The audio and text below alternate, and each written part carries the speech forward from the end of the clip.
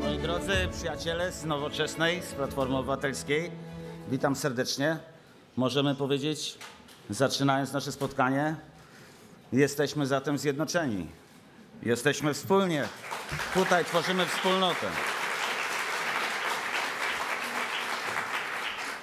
To nie jest formalne zjednoczenie, to nie jest, y, to jest y, zjednoczenie programowe, to jest pomysł na wspólnotę naszych działań, aktywności, na to, żebyśmy mogli dać Polakom nadzieję.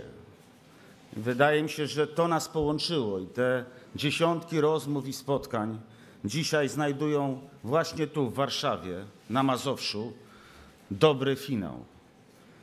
To jest y, szczególny rok, rok y, stulecia odzyskania niepodległości.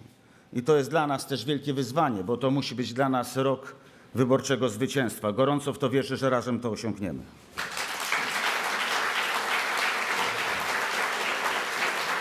Ale zanim, zanim o rozmowie o, o samorządzie, o planach będziemy tutaj przedstawiać to wszystko, co, co wspólnie osiągnęliśmy, osiągnęliśmy, już osiągnęliśmy, chcę powiedzieć o, o tym, co dzieje się w ostatnich dniach. I chcę powiedzieć, jak bardzo ważne jest, żebyśmy współpracując ze sobą pamiętali o tym i nie pozwolili w Polsce na łamanie demokracji. Bo nasze rozmowy, nasze plany, nasze efekt naszych, naszej wspólnej pracy wywołał wielką frustrację u Kaczyńskiego i w PiS. Bo to nieprzypadkowo w zeszłym tygodniu rozpoczął się sezon polowania na polityków e, opozycji. W parlamencie bardzo wyraźnie to widzieliśmy, kiedy kolejno zgłaszano wnioski o uchylenie immunitetów Kamili Gasik-Pichowicz, Ryszarda Petru czy Stanisława Gawłowskiego. Pamiętając o tym, że niedawno, jeszcze parę tygodni temu, będący pod poważnym oskarżeniem senator Stanisław Kowgut został uchroniony przed, odpowiedzialność kar, przed odpowiedzialnością karną przez swoich kolegów. To jest hańba i wstyd.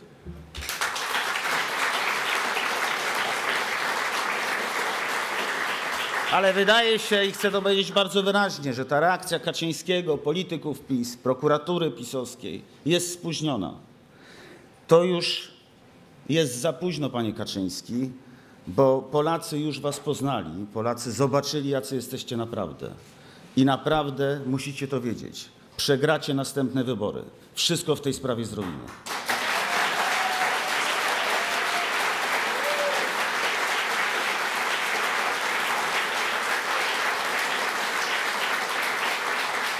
Bo spójrzmy na to, na to w sposób historyczny. Tak jak mówiłem, sto- stolecie, stulecie odzyskania niepodległości.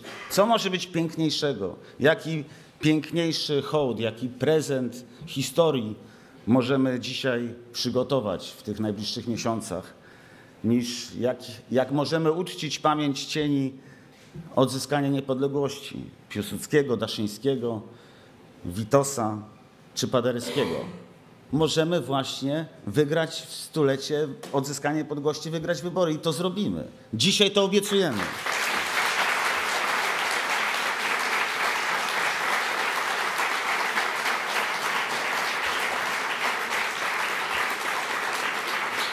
Pytają nas wszyscy, dlaczego jesteście razem. Czy to jest y, stan stały, czy to, czy to jest coś pewnego. To jest coś naturalnego. Jesteśmy koło siebie, bo rozmawialiśmy i tak naprawdę odszukaliśmy się w sposób taki absolutnie otwarty i, i, i naturalny. Dlatego, dlaczego jesteśmy koło siebie, dlaczego wspólnie walczymy o, o sensowną, dobrą, suwerenną Polskę? Dlatego, że że mamy bardzo podobny program. Przyjęliśmy go tak naprawdę po, po kilku rozmowach.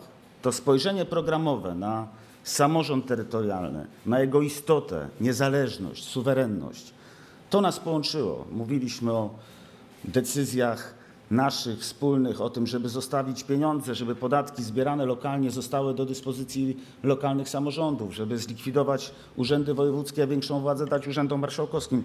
To wszystko było oczywiste dla nas. Programowo zgodziliśmy i napisaliśmy ten scenariusz zupełnie Można powiedzieć natychmiast, od razu. Ale chcę też powiedzieć, że te wybory samorządowe będą symbolem, tak jak te w 90 roku. Niewiele z nas pamięta, ale te wybory samorządowe 27 maja 90 roku to były pierwsze wolne wybory w Polsce.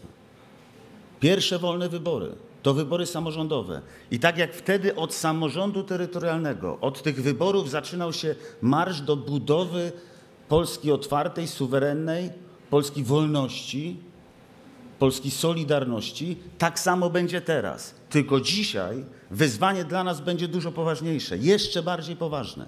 My dzisiaj musimy Polsce przywrócić wolność i suwerenność. My dzisiaj musimy powiedzieć: pokonamy PiS, pogonimy PiS i dzisiaj to mówimy.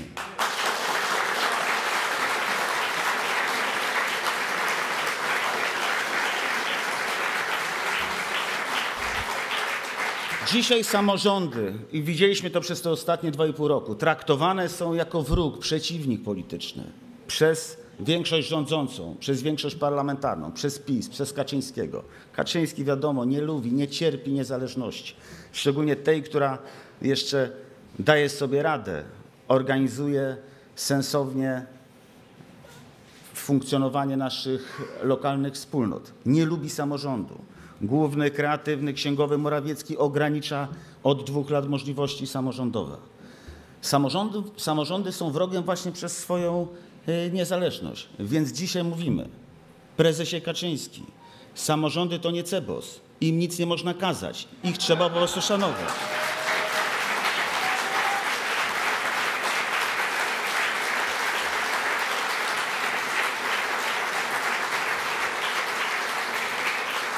I to, co jest kompletnie absurdalne, co pokazuje prawdziwą twarz PiSu, całego tego zestawu ludzi, którzy pokazali w tych ostatnich tygodniach, dlaczego przyszli do polityki.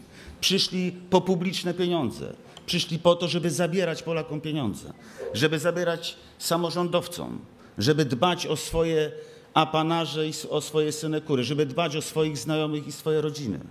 Więc mówimy, nie będzie nigdy zgody na to, żeby za bandę Pisiewiczów i Misiewiczów zatrudnionych w spółkach Skarbu Państwa, za to, że odkryliśmy tę wielką aferę nagród, premii, za to wszystko, żeby Kaczyński odebrał pieniądze uczciwym samorządowcom. Nie będzie na to zgody, nie pozwolimy na to.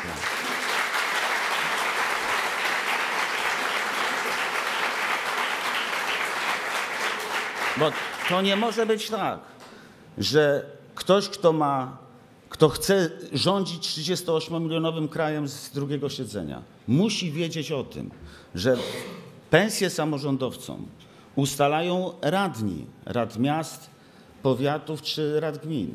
Ale robią to w imieniu wyborców, a nie Komitetu Centralnego z ulicy Nowogrodzkiej. Musi sobie zdawać z tego sprawę Kaczyński. Jeżeli nie, to my to mu przypomnimy i powiemy jeszcze raz. Jest tak, że to, będzie, to będą ważne wybory, to będzie ważny rok. Dlatego też rząd rozpoczyna cały kalendarz wyborczy. Te wybory będą co pół roku, wiemy. Ale wiemy też i dlatego jesteśmy tu razem. Dlatego jesteśmy tu razem, dlatego siedzimy koło siebie, dlatego chcemy mówić jednym głosem. I chcę, żeby to bardzo wyraźnie wybrzmiało tutaj z naszego na naszym spotkaniu. Nie popełnimy błędów węgierskiej opozycji. Będziemy szukać wspólnoty. Będziemy rozmawiać, będziemy tworzyć relacje z innymi środowiskami i też innymi wolnościowymi, prodemokratycznymi partiami politycznymi. Zrobimy wszystko, żeby dać Polakom wybór, żeby dać Polakom alternatywę dla złych rządów PiS, bo tylko wtedy te wybory wygramy. I wygramy je właśnie dlatego, że dzisiaj jesteś, jesteśmy razem. Dziękuję bardzo.